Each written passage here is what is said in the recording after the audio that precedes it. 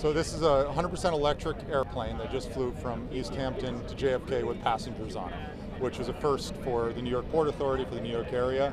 And you know, we covered 70 odd nautical miles in 35 minutes. The most transformative thing is that you drastically reduce the cost of flying.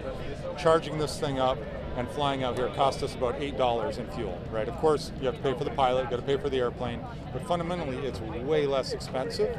It's quieter, so the communities are happier. It's a simpler aircraft, so you're quiet, you're accessible, and, uh, and, and people love flying it. If you ask the passengers how they liked it, we could talk to each other the whole time. There's no propeller in front of you, there's no jet engine.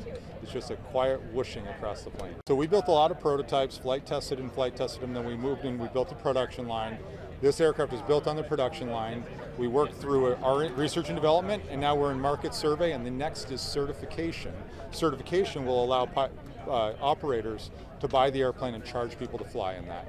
I'd say we're 18 to 20 months away from that. It's a modern aircraft, so it has all of the latest technologies to be seen and see. So you have great situational awareness as a pilot.